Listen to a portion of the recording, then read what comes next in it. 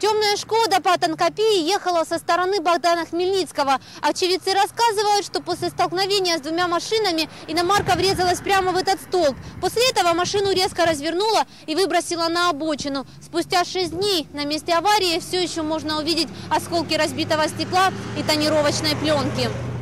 По собственной информации медиагруппы «Объектив» известно, что за рулем «Шкоды» был сотрудник милиции, 26-летний оперативник Фрунзенского райотдела.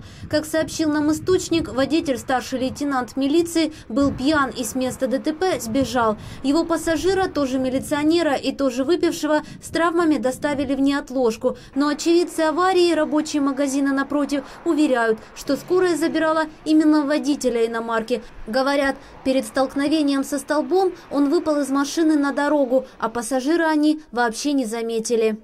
Получается, дверь открылась, походу. Вот. Она не открылась, она назад сместилась.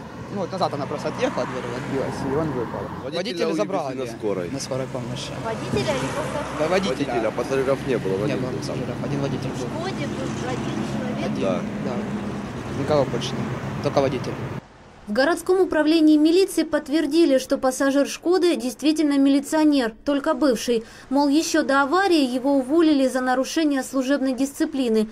По информации объектив новостей, правоохранитель действительно подал рапорт об увольнении еще в феврале. Только руководство его еще не подписало, и в этот день милиционер был на работе. А вот кто вел иномарку в тот день, милиция спустя почти неделю после аварии так и не выяснила. Значит, данный автомобиль оформлен на жителя города Харькова 1960 года рождения и управляется помимо не- и управляется э, кроме него еще двумя лицами, на которые выписаны доверенности на управление данным автомобилем. Обстоятельства и личность водителя, находившегося за рулем автомобиля Шкода Октавия, в настоящее время выясняются.